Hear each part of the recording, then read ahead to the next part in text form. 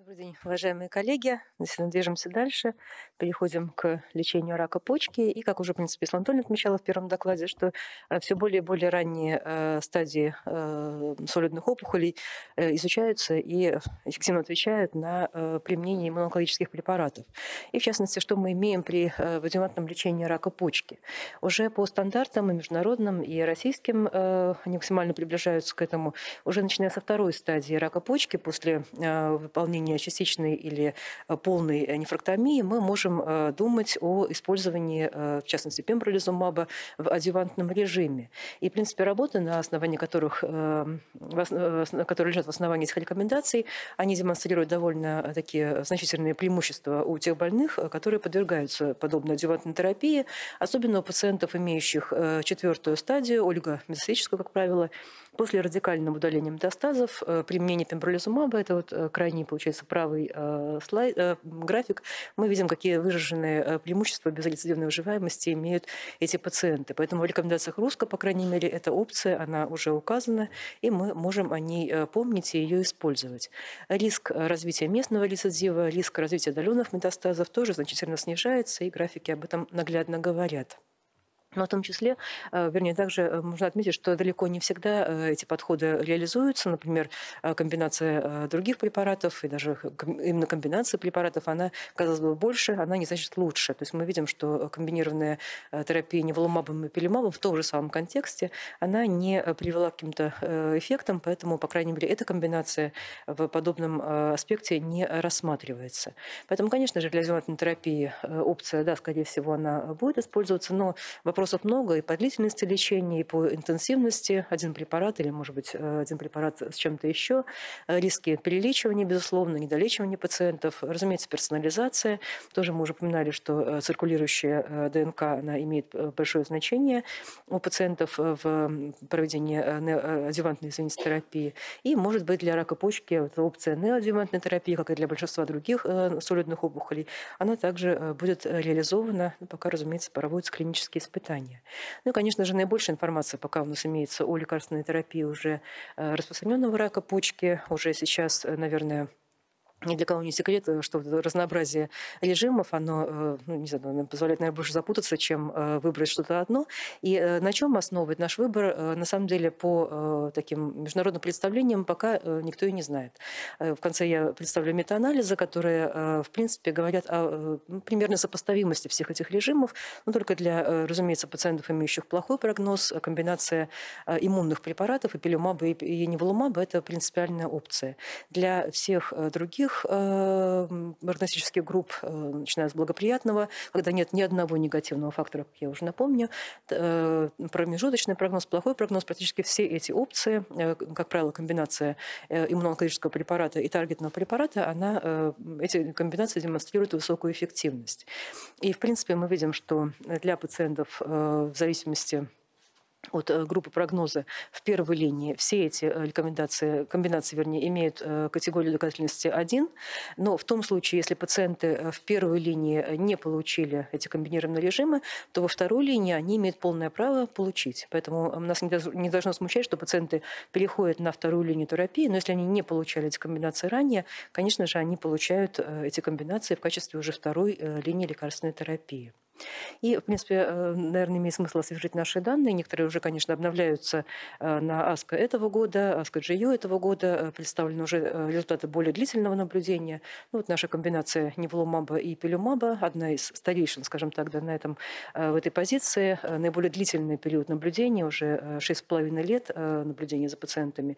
Вот мы видим, что реализация эффекта, самое главное, в общей выживаемости пациентов, практически двукратное превышение медианы общей выживаемости, смертности, но у пациентов, промежуточного плохого прогноза.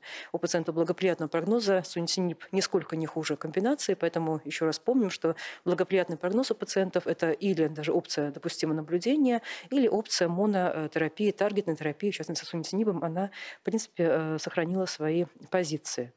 Пембролизумаб, аксисинип, также выигрыш э, мы наблюдаем. И также, если мы посмотрим подгруппы, то все-таки это группа, подгруппа плохого и промежуточного прогноза.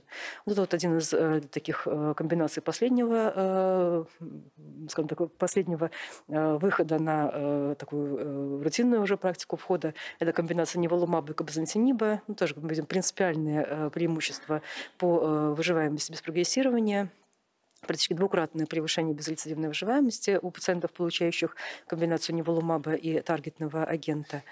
И эм, э, в зависимости от группы прогноза, конечно же, чем хуже прогноз, э, тем, более, больше, тем больше выигрыш имеют пациенты, получающие именно э, комбинированную таргетную и иммунотерапию.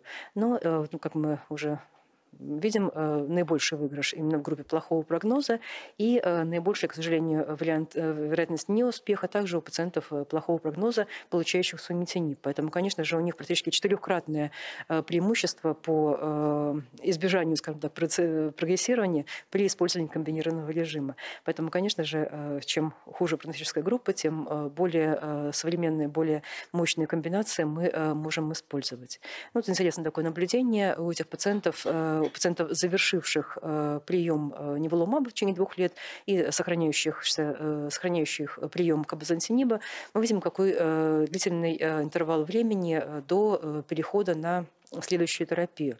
Практически после завершения приема неволумаба еще медиана времени до перехода на последующую линию терапии составляет практически два года. То есть у пациента уже 4 года, в принципе, живут без признаков прогрессирования, без потребности в перехода на следующую линию терапии. Э, ну, в принципе, уже трехлетний период наблюдения за общей выживаемостью. Ну, это, опять же, демонстрируется, что выигрыш имеют больные э, в основном за счет промежуточного и плохого прогноза. И, э, наверное, такая самая нашумевшая да, комбинация по частоте частичных регрессов и полных регрессов. Полные регрессы в этой комбинации достигают, напомню, каждый пятый пациент. Частота общих ответов 70%. То есть, в принципе, 7 пациентов из 10 имеют полные частичные регрессы. Ну, комбинация пембролизума пролизумаба и линвотиниба. Но также э, вот, нижний э, график, в нижней э, таблице мы видим, что это все реализуется, снижение риска прогрессирования в основном у пациентов плохого и промежуточного прогноза.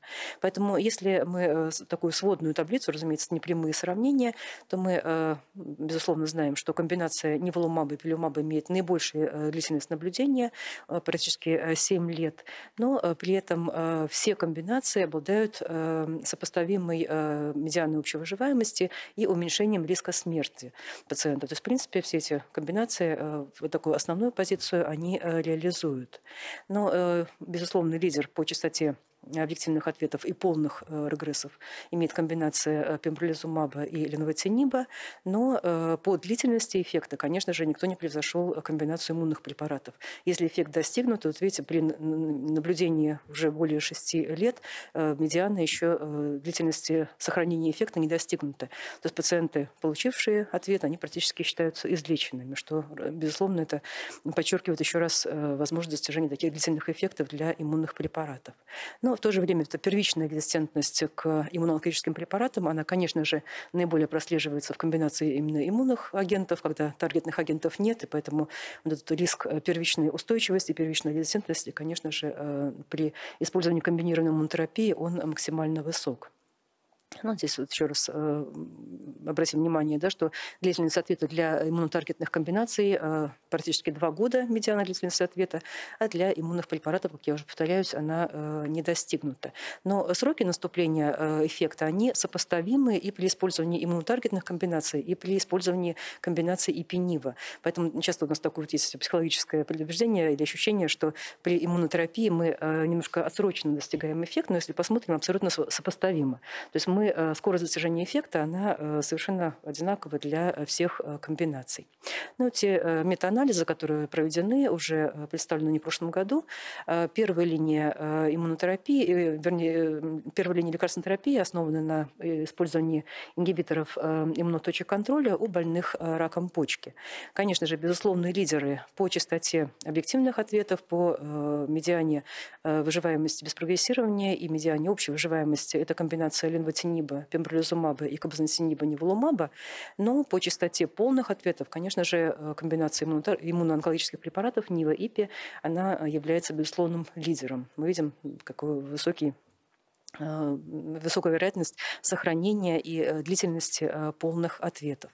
Э, по э, частоте нежелательных явлений, также э, по таким несравнительным анализам, по данным этого метаанализа, мы видим, что вроде бы комбинация иммунологических препаратов, которые мы все-таки немножко опасаемся, она является наиболее безопасной. То есть там около половины пациентов требовали